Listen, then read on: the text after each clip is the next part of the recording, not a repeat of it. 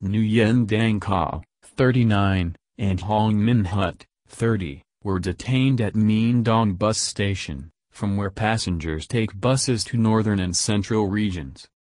The drugs were hidden in a loudspeaker. Border guards from the central province of Quang Tri, which borders Laos, had been following the men for some time. They traveled 1,000 kilometers, 620 miles, south to HCMC and arrested the men with two local police officers. Vietnam is a key trafficking hub for narcotics in and around the Golden Triangle, a lawless wedge of land that intersects China, Laos, Thailand and Myanmar and is the world's second largest drug-producing region. The country also has some of the world's toughest drug laws. Those convicted of possessing or smuggling more than 600 grams of heroin or more than 2.5 kilograms of methamphetamine face the death penalty.